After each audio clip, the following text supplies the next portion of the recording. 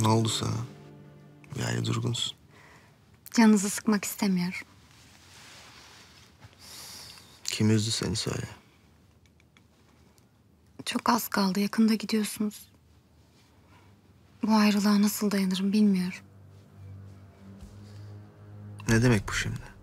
Sen de benimle gelmiyor musun? Çok istiyorum. Fakat...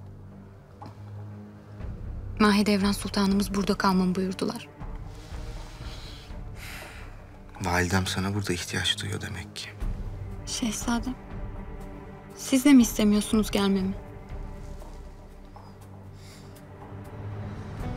İsterim elbet. Ama Manisa'da çok kalmayacağım. Malum sefer var.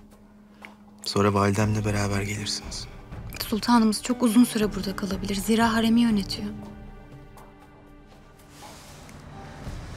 Siz olmadan nasıl yaşarım ben? Kalbim dayanmaz buna. Sefer dönüşü seni alıp öyle geçerim Manisa'ya. Hadi üzülme artık.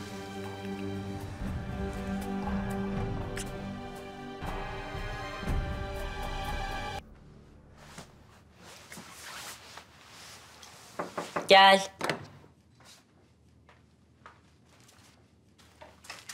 Sultanım. Nihayet gelebildi. Sultanım bağışlayın. Şehzademizin yanındaydım. Ne oldu? İkna edemedin mi? Sultanım kötü bir niyetim yok. Ben şehzademiz için endişe ediyorum.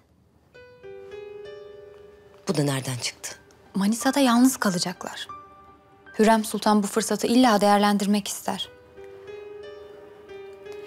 Ne malum yine zehirlemeye çalışmayacağı? Bizden biri yanında olmalı.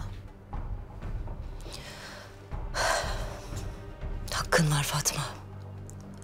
Gerçi emniyeti için hususi tedbirler alındı fakat... ...her ihtimali düşünmekte fayda var.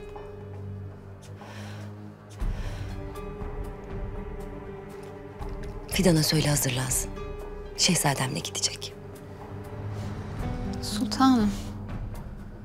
Seni severim Fatma. Bana sadıksın.